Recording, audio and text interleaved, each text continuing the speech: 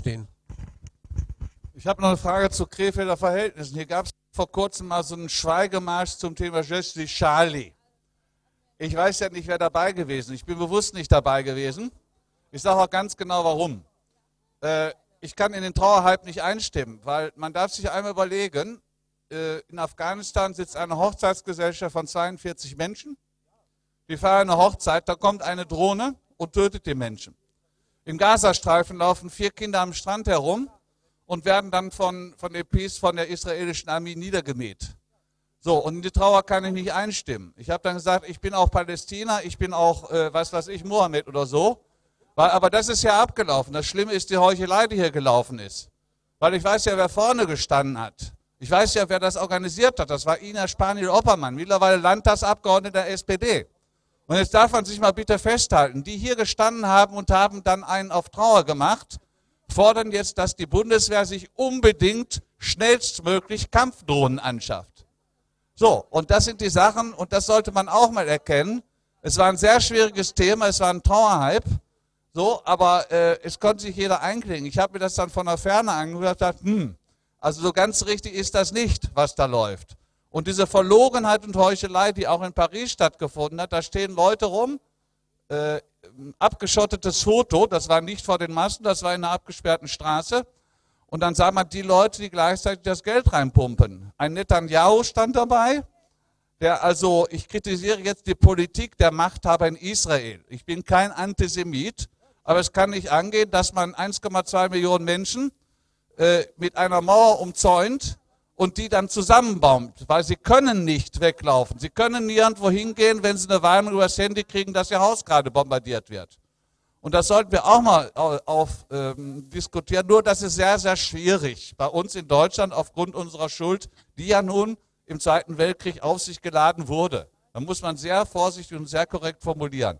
Aber ich kann auch nicht erwarten, dass Leute sich jetzt freuen, wenn ihre Angehörigen gerade mal im Gazastreifen getötet worden sind, dass sie jetzt auf einmal sagen, ich bin jetzt für Israel. Sollte man immer auch bedenken. Das heißt im Grunde genommen, was die Forderung, komme ich auf den Frieden zurück, das kommt vielleicht mal wieder. Das ist erstmal die ganz klare Forderung, Stopp aller Waffenexporte, grundsätzlich. Vielleicht erreicht man hier ein bisschen Aufmerksamkeit mit rein. Schmeißer GmbH sitzt hier auch in Krefeld, wusste ich gar nicht als Zugereister. Die machen nämlich schöne Kleinfeuerwaffen. Äh, Opum weiß ich nicht genau jetzt. Die machen schön, und das sind die Waffen, die nicht kontrollierbar sind und dann ist auch keine Endkontrolle. Und das sollte man dann wirklich angehen. Und äh, ich weiß auch mittlerweile, es gibt einen Friedenswinter hier in Deutschland. Da versuchen viele Kräfte, den Friedenswinter zu spalten. Das ist nämlich, äh, ich weiß ja ein bisschen, wo da entsprechend die Versuche sind, weil es ist immer unangenehm, wenn Leute für den Frieden auf die Straße gehen. Und manchmal tut es mir leid, wer sich aus dem Friedenswinter ausgeklinkt hat. Und ich kann mich nur hinter Erklärung zum Friedenswinter und der Zeitung hinterstellen. Und das muss auch mal wieder aufs Trapez kommen, meine ich.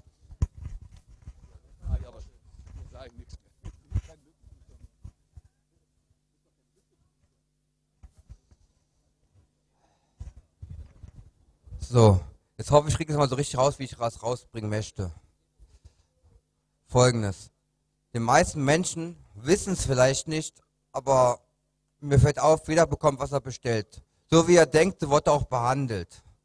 Und die Sache ist ganz einfach. Die Leute, die sich manipulieren lassen und denken, die Welt ist schlecht, ich bin scheiße, ich bin nichts wert, werden auch so behandelt. Die Sache ist ganz einfach. Man muss, man muss in, dem das tun, was man für richtig hält, im positiven Sinne. Und wenn, wenn man so durch die Welt geht, mit voller Überzeugung, dann, dann erreicht man auch das, was man möchte. Weil man bekommt immer, was man bestellt. Das ist das Bestellerprinzip und das gilt bei jedem Menschen. Also ich kann mal ein Beispiel nennen. Ich gehe ab und zu mal in so in Kneipen. Manchmal sind die auch rassistisch, ich gebe zu, aber da profitiere ich ganz gerne. So, dann mache ich meistens folgendes Beispiel. Da sitzt so ein kleiner, so ein frustrierter, ich sag mal alter Sack, ich kann nichts, ich, ich nenne es einfach mal so, weil der macht ja selber so klein, wie er ist. So, läuft dann Frust runter, da hat der Leben äh, lang gearbeitet, und hat trotzdem nichts erreicht und ist frustriert. Man sieht es, wie er sich verhält, die Körpersprache sagt alles. Und der Unterton, wie er spricht. So, dann kommt so ein junger Schnösel wie ich und sagt, wisst ihr was, äh, ich zeige euch einen radikal anderen Weg, es geht ganz anders. Man muss nicht tun, was andere einen erwarten, man muss die Staat nicht akzeptieren, man muss keine Regeln, Gesetze befolgen, man muss auch nicht arbeiten gehen. Das ist alles Quatsch, man muss das nicht.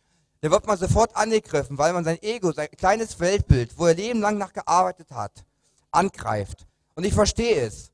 Ganz einfach, weil ich habe sein Weltbild angegriffen. Wie sagt er, und vor allen Dingen, ich bin der Spiegel, in den keiner reinschauen will. Ich zeige jemandem, der Spiegel ist. Wenn er sich verschließt, dann sage ich ihm das. Ich frage, warum verschließt du dich? Warum versteckst du dich? Warum weichst du aus? Ich zeige ich gebe dir gerade den Schlüssel. Ich bin derjenige, der Leute auf den Füßen tritt. Und das mit Freude, mit Begeisterung. Ich erwarte nichts. Ich will gar nichts von den Leuten.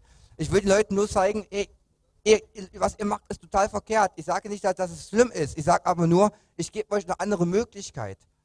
Und das ist das, was ich halt tue. Und danach handle ich selbst. Ich, ich folge keinen Regeln mehr. Ich sage mir, mir ist egal, andere von mir denken oder sonst was. Ich sage mir, ich tue, ich erwarte jede, jede, jede Diffamierung, jede Beleidigung, jede, jede, ach, jeder Abstoß und jede Bestätigung ist für mich eine Bestätigung, dass ich alles richtig mache. Weil, äh, also, solange man beachtet wird, ist, sagt man, ist man jemand. Wenn man sich selber klein macht und man sich versteckt und sich auffallen will, wird man genauso behandelt. Und dann, wie, wie kann man solche Menschen respektieren? Weil in dem Moment, wer sich selbst respektlos behandelt, kann auch eine Respektlosigkeit ernten. Das ist einfach logisches Wissen und Denken. Das ist einfach Psychologie. Und deswegen, deshalb handle ich nach meiner eigenen, nach meiner eigenen äh, Regel, ähm.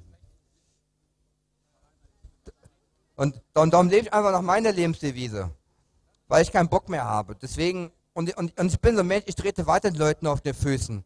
Außer mit positive Energie. Ich, ich sag mal, ich habe keine Lust mehr. Ja. Machen wir jetzt Feierabend hier, oder was? Ja, die Sache ist doch, wie lange will man noch reden? Reden, reden, reden bis man was tut. Wir müssen was tun. Und wo trifft man den Staat? Bei der Arbeit. Wenn dir einer einen Hammer reicht, dann schmeiß den so weit du kannst. Äh, danke.